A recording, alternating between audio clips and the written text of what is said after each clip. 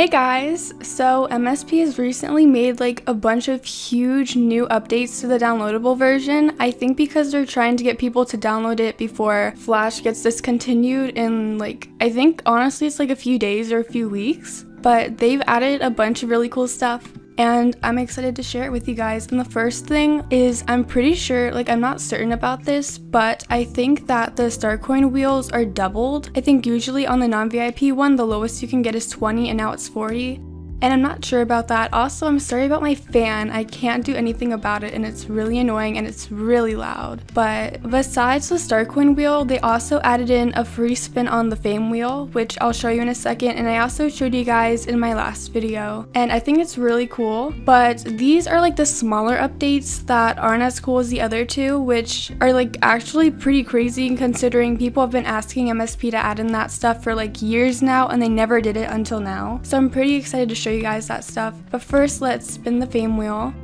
I always get 500. Okay, whatever. It's not like I need any more fame anyway. Okay, so the bigger updates all have to do with the clothing shops, and the first one, like, look at this. Okay, it speaks for itself. Now we have girls' clothing and boys' clothing, and I actually thought that if they were to do this, they'd add it into the same shop, but there are separate shops, which I guess kind of works better because because if they added in both the girls clothing and the boys clothing into one shop that would be really like messy and cluttered so I guess it works better this way. Honestly I don't really care for the boys clothing and I don't plan on using it but I do know that a lot of people have been asking MSP to add it in for a very long time and so I think it's really cool that they finally have even if it took them like years but let's take a look.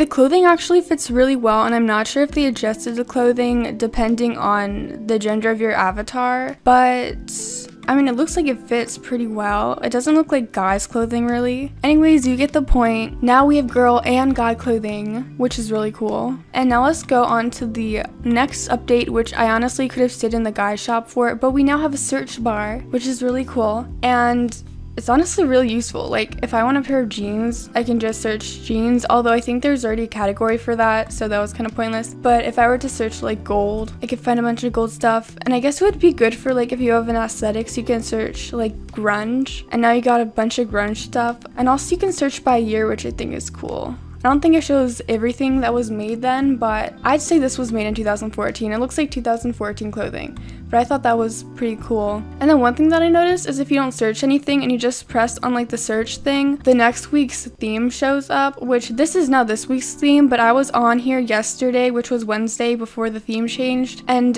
when I did this, this stuff popped up and like that theme hadn't even been released yet so i don't know if that was like meant to be that way and if next week's theme is also going to be here once they finish it before they release it but i thought that was pretty cool so Yeah, also, you know what, now I'm kind of realizing the separation of the guy and girl shop is kind of annoying because, like, what if you want to make an outfit with both guy and girl clothing? Then you have to keep, like, switching between the shops but I don't know. Cause like really, if they if they put both shops together, I feel like it would be really messy and cluttered. But who knows? You know what else they really really need? They need a way to search by like or to filter by low to high price or star coin and diamond or VIP and non-VIP and stuff like that. I think that would be really really helpful. So yeah, I just thought that all of that was really cool and worth sharing because I know a lot of people don't actually even have the downloadable version yet and I think some people just don't even plan on downloading it, which is fine, but MSP is kind of making it sound like they're gonna keep on adding more stuff, which I think is really great, and I can't wait to see what else they add. I'm really excited for that actually, because it seems like they're finally listening to what we're asking for, even though it's like, it's really, really late. I mean, better late than never, right? So,